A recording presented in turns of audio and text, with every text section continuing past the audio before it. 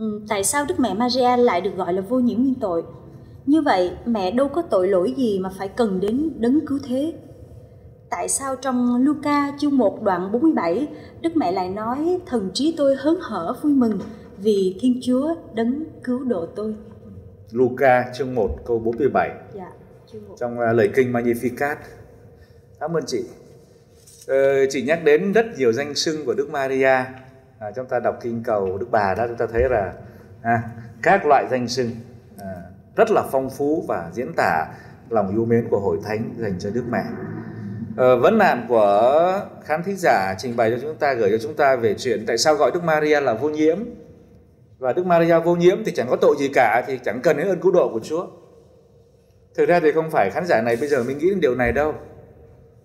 Mà trước khi công bố tín điều này thì các nhà thần học đã nghĩ rồi. Họ đã rát đầu ra rồi. Không khó khăn gì để chấp nhận Đức Maria vô nhiễm nguyên tội. Bởi vì lòng yêu mến dành cho Đức Mẹ là rất mạnh mẽ, nhất là sau khi công bố tín điều Đức Maria đồng trinh trọn đời và trước đừng và cái tín điều trước đó Đức Maria là mẹ Thiên Chúa đó. Lòng yêu mến cả trên bình diện đời sống giáo hữu bình dân hay cả ngay cả trong suy tư thần học. Cho nên có thể nói là giáo hội, các nhà thần học không khó khăn lắm để chấp nhận Đức Maria vô nhiễm nguyên tội, không khó. Thế nhưng mà cái khó là nếu chấp nhận Đức Maria vô nhiễm nguyên tội thì làm sao giải thích được ơn cứu độ của Chúa Kitô đem đến cho nhân loại. Tất cả mọi người phải cần đến ơn cứu độ của Chúa Kitô. Vậy thì loại Đức Mẹ ra khỏi cuộc chơi hay sao? À, câu hỏi đó các nhà thần học đã tìm câu trả lời. Ngay cả một ông thánh có thể nói là thánh thiện, giỏi giang, à, đến độ người ta gọi ngài là một vị thánh thông thái, ngài là một người thông thái trong các vị thánh và là một vị thánh trong những nhà thông thái đó là thánh tiến sĩ Thomas Aquino. Thánh tiến sĩ Thomas Aquino ở thế kỷ thứ 13 đụng vào cái câu hỏi này ngài cũng bảo khó ạ, à, cái này căng ạ. À. Dụ này căng. Ha? Nếu bây giờ ta chấp nhận Đức Maria vô nhiễm thì căng quá. Giải thích làm sao đây? Vậy thì mẹ không cần được cứu độ à? Vậy thì Chúa Kitô đến để cứu độ mọi người trừ Đức Maria à? Đấy. Cho nên là cảm ơn người đặt câu hỏi này và chúng ta ôn lại cả cái lịch sử như vậy. Và bây giờ đó thì bây giờ chị Thủy này Bây giờ để mà giới thiệu chị thì phải giới thiệu làm sao? Chị Thủy không phải là người đàn ông, được không? Ai giới thiệu kỳ quá nhỉ? Giới thiệu phải giới thiệu cái gì tích cực chứ, phải không? Chị ở chị là một nhà báo, chị là một Kitô hữu đơn thành, tức là diễn tả cái gì đó tích cực của chị chứ, chị đi giới thiệu giống như ngày xưa ta định nghĩa người giáo dân đó, giáo dân là người không có chức thánh. Sao tự giới thiệu mà anh xấu bởi vì anh không có đẹp, ừ, nó kỳ, phải không ạ? Nhưng mà ở đây Đức Maria vô nhiễm định nghĩa mà định nghĩa vô. Cái người ngoài quốc họ nói chuyện hay lắm chị để ý nhé. Thì người Mỹ chẳng hạn tôi lấy ví dụ này. À, chị Thủy có tiền không? Cho cho cho Văn mượn mấy nghìn đi. Người Việt của chúng ta trả lời à, xin lỗi cha nay không có mang tiền hoặc là con không có tiền người Việt mình trả lời vậy gì Mỹ nó trả lời khác ạ à. I have no money tôi có I have mà lại có cái không I have no money Người ta thích nói cái tích cực hơn. I have nothing. Không có gì hết. Thay vì nói không thì nói tôi có, nhưng đằng sau nó phủ định. Thế bây giờ mình trình bày mình giới thiệu Đức Maria mà Đức Maria lại là vô, không. Có cách nào để diễn tả Đức Maria hay hơn không? Các nhà thần học và ngay trở lại xa xưa, ngay từ thời giáo phụ đó, thì giáo phụ Origen bảo nên gọi Đức Maria là đấng toàn thánh đi. Toàn thánh. Có nhiều người hay quá, bravo! Ở nhưng mà không được. Chúa là đấng thánh mẹ là đấng toàn thánh rồi mẹ chúa bằng nhau. Như vậy thì mẹ là nữ thánh. Không ổn. Hay quá nhưng mà chắc ta tìm cách khác để diễn tả đi. Có lẽ không ổn rồi. À và cái suy tư cứ tiếp tục trong thời gian của lịch sử. Uh, Anselmo thánh Anselmo ở thế kỷ thứ 12 đó thì bắt đầu những cái khảo luận về Đức Maria vô nhiễm nguyên tội một cách gọi là làm việc một cách khoa học trình bày và những cái khảo luận nghiên cứu về Đức Maria vô nhiễm nguyên tội. Và Thánh Anselmo cố gắng để mà dung hòa hay để trình bày làm sao Đức Maria được ơn vô nhiễm hay là hiểu ơn vô nhiễm thế nào? Thì Thánh Anselmo đưa ra một cái khái niệm đó là khái niệm tiền cứu chuộc. Tiền. Cứu chuộc. Nghĩa là Đức Maria được cứu chuộc trước khi Đức Kitô thực hiện công cuộc cứu độ. Giống giống như thánh Gioan tẩy giả đó. Dạ. thánh Gioan tẩy giả có mắc mắc tội tổ tông không? Các nhà thần học bảo rằng thánh Gioan tẩy giả mắc tội tổ tông nhưng mà được tha ngay từ trong lòng mẹ. Chưa sinh ra thì tội tổ tông đã được tha rồi. Và đức thánh Anselmo và đức Maria cũng vậy là con người thì phải mắc tội chứ. Nhưng mà Chúa tha cho mẹ ngay từ khi mẹ còn trong lòng của bà thánh Anna cơ. Thì đấy là tư tưởng của thánh Anselmo. Nhưng mà tiếc thay thì điều đó, một sáng kiến hay những cái tư duy hay cái đóng góp đó không được phần đông ở các thần học giả chấp nhận. Vậy thì có cách nào không? Vấn đề vẫn là một câu hỏi lớn.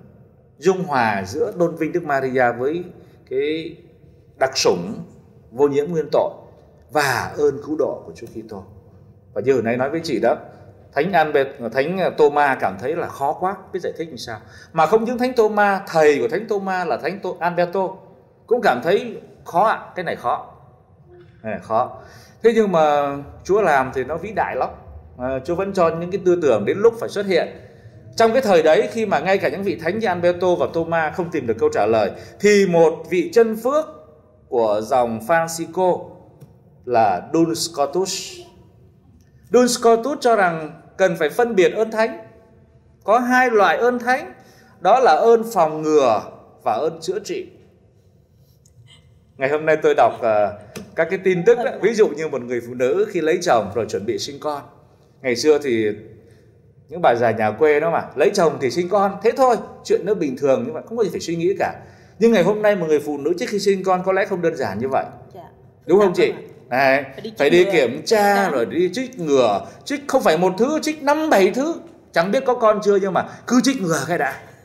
Cái đấy quan trọng rồi chứ dạ. à, thế thì ta phân biệt ơn thánh ơn phòng ngừa và ơn chữa trị. Khi nào mà mắc nhiễm rồi thì chữa trị. Còn bây giờ đó chị trích chu vi b chưa? Dạ rồi. trích ngừa. Chưa bị mắc thì trích dạ. để ngừa khỏi bị.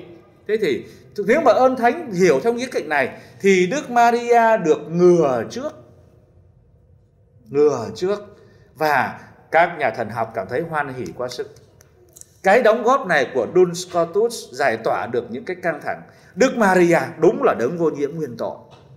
Thiên Chúa gìn giữ mẹ để mẹ khỏi mắc tội tổ tông ngay từ khi còn trong lòng của bà Thánh Anna. Tức là ngay khi cưu mang thì Đức Maria không mắc tội tổ tông. Vô nhiễm nguyên tội có nghĩa là mẹ khi được cưu mang trong cung lòng của thân mẫu thì mẹ không mắc tội tổ tông như tất cả mọi con người khác. Tinh sạch vẹn tuyền. Tinh sạch vẹn tuyền. Thiên chúa làm điều đấy để chuẩn bị cho mẹ trở thành một cung điện rạng người đón chờ ngôi lời nhập thể quá tuyệt vời. Tôi xúc động. Dạ. Thiên Chúa làm như vậy để cho mẹ có được một cái đặc ẩn lớn và mẹ không phải là nhiễm tội rồi Thiên Chúa tha mà Thiên Chúa gìn giữ mẹ để mẹ không có vướng mắc tội truyền không vướng mắc tội truyền và cái điều này cũng chính là hoa trái ơn cứu độ của Chúa Kitô à, như Đức Giáo Hoàng Pio thứ 9 công bố năm 1854. 1854. Giáo hội quà thẩm quyền à, Đức Giáo Hoàng thì Đức Pio 9 công bố, nhờ công nghiệp của Chúa Kitô chịu nạn, chịu chết. Sau này, thì Thiên Chúa đã gìn giữ mẹ khỏi mắc tội tổ tông truyền. Và như vậy thì chúng ta có thể giải đáp được cái thắc mắc, mẹ được ơn vô nhiễm, nhưng mà mẹ cũng cần đến ơn cứu độ. Hay nói cách khác, ơn cứu độ đã thành toàn nơi một thụ tạo tuyệt vời của Chúa là mẹ Maria mẹ vừa được ơn phòng ngừa vừa được ơn chữa trị. Không mẹ không có chữa trị. À, mẹ không chữa trị. Phòng ngừa thôi. Dạ. bởi vì mẹ đâu có nhiễm. Mẹ là đấng tục chuyện chữa trị với người ta à, đúng rồi. Mẹ dạ. trọn đời không vướng mắc tội tổ tông. Dạ. và cũng không mắc một cái tội riêng nào cả.